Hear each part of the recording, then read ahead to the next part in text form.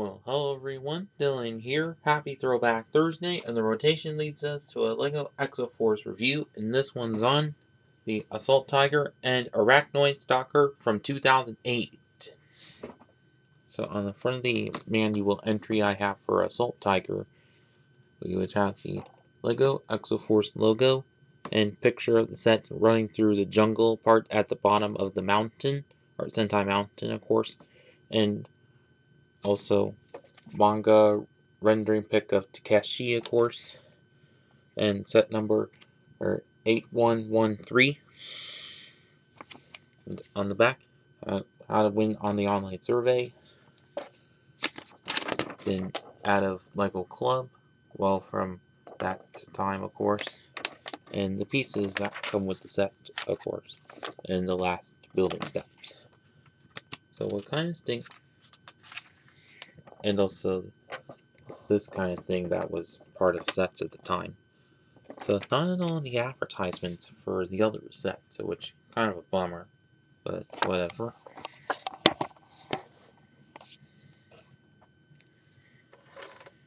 And so now on to two minifigs included with the sets.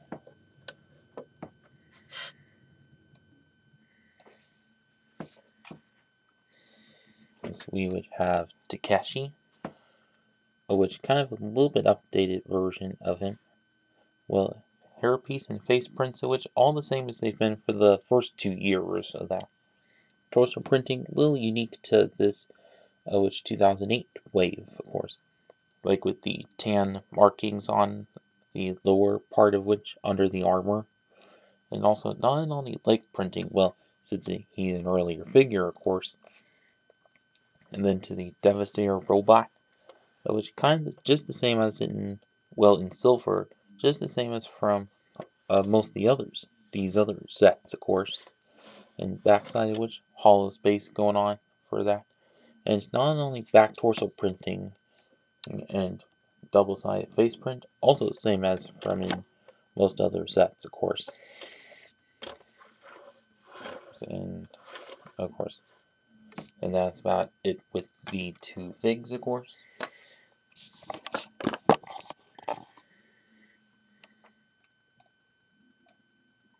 And now to the first of the sets, the Arachnoid Stalker, of course. Now, one thing from first glance is the neat color scheme it has, which is is black and orange with a little bit of yellow mixed in. But the black and orange, very Halloween-like. So at least it kind of works out as a Halloween set for that, but and also for it being spider shaped, of course. But also one big problem, or, or from first glance, the big problem that there is is just like we had with Lord of Skull Spiders in uh, 2015 Bionicle sets, is where there's six legs for when actual spiders have eight legs. Should have at least included a few more of leg pieces to make give it an extra two legs. But aside from that, at least it still builds still quite cool, of course.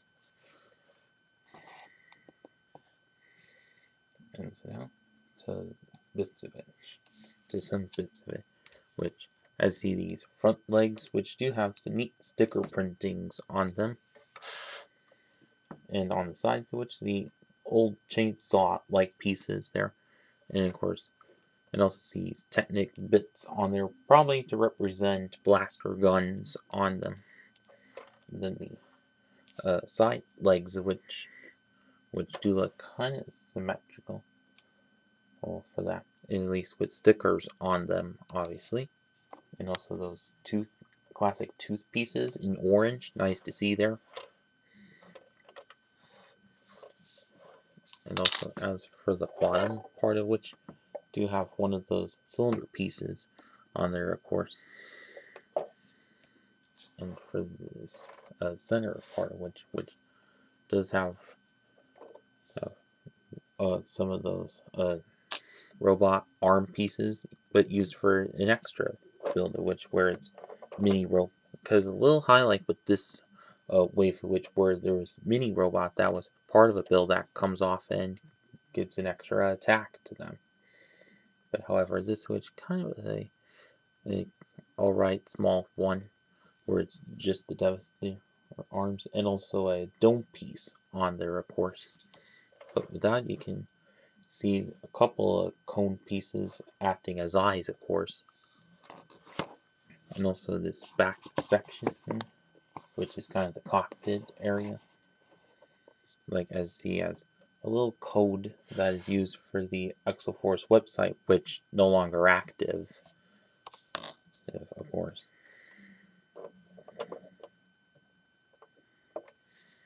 And although you can like fold these sides and flip this forward, have a couple levers and also just four studs down in there, enough room to fit your uh, Devastator robot fig into. And can fold it around them like so, of course. And then the back side of which have a couple of little flame pieces coming out from there. And also another dome piece on their bow with a skull in it. It's kind of like as we had with one of the sets in the 2007 wave, of course. But as you can see, the build from this sun section of which done quite good, except for a little hollow space for that. I think, which I think should have been filled in probably with like another orange plate or orange and black plate in there or yellow plate but that's just me although from this center bit which also done quite well with the orange curved uh, slope pieces oh it's nice to see there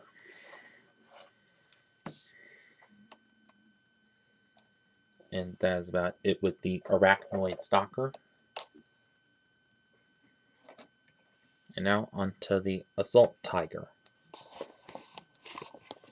Which, as you can see, from first glance, kind of reminiscent of some of the other mechs that we've gotten in the previous years, but at least with some different bits to it.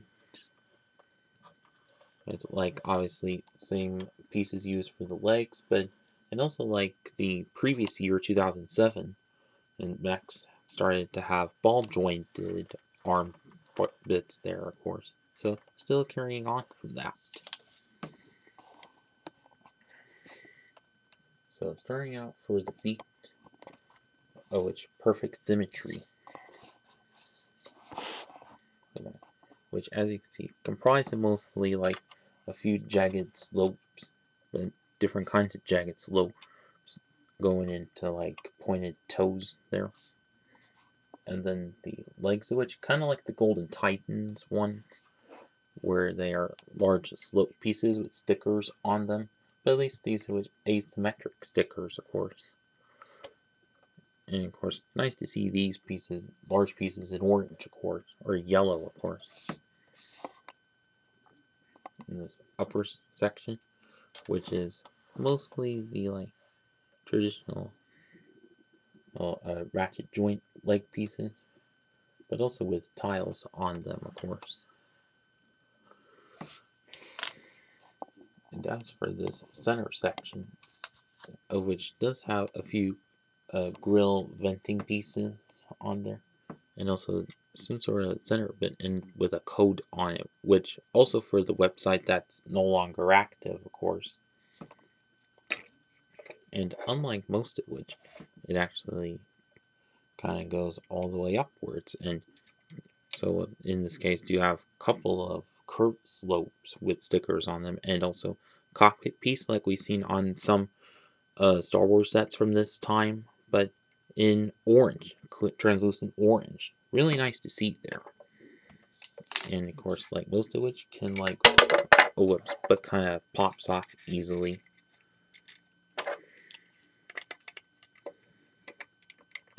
Uh-huh.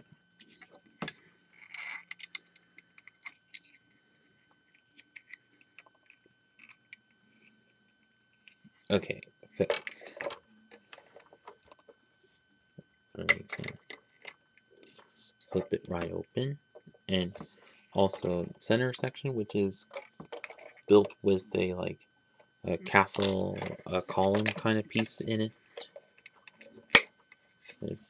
And to, of course, put everything onto it, obviously. And also, if you can, like, notice, is right down in there, which is a brown seat piece, which to seat Takeshi into, obviously. And just enough room to fit him into and close around him like so and fits quite nicely and also on the sides you have these have a couple of red studs probably acting as like warning lights or something but big flock that there is on the sides of which big hollow spaces on there although I think a couple more uh, yellow slopes should have been in there to fill that out. But also, as for these shoulder bits, which as you see comprise mostly just curved and jagged slopes and also a cart hood piece on there with stickers on it, of course. But whereas for this side of which another one of those pieces from the arachnoid stalker which goes down into a few Technic uh, rods and all, and then to a saw blade with a sticker piece on it, and this red uh, bit in there, you can like for you to spin it like so. And as for this other armor witch, which is just a few Technic uh, bits to it, and also a hand bit that goes down to a long uh, rod bit to it that goes to these uh, like a missile bottom pieces. Well missing a cone piece a little trans red cone piece should be there but I kind of dropped it a bit but whatever. But also one little highlight is as you can see or the main highlight of most of the sets of this way, which are little robot, extra robots that can detach and assist in battle. This one just slips on out quite easily. And it's its own mini build.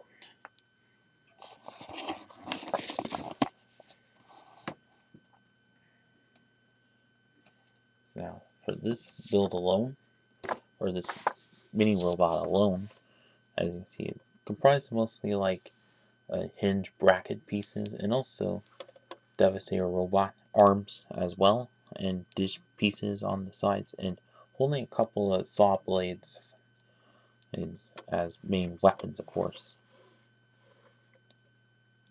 And also, all of which kind of centered around a like Technic gear bit to there, and also a curved uh, slope acting as the headpiece, well, with a couple stickers on there, both on the top part and also for the single eye part on it. As for the articulation, it's well effective. Can move in the hips and also in the shoulders and a bit in the arms and the head. Oh, whips. Can move up and down a little bit there.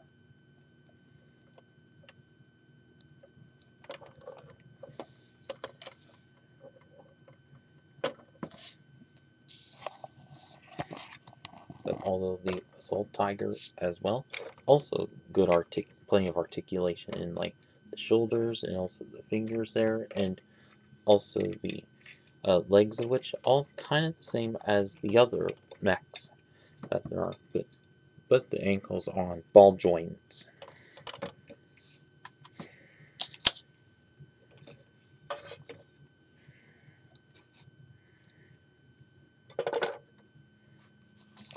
now on to the final verdict.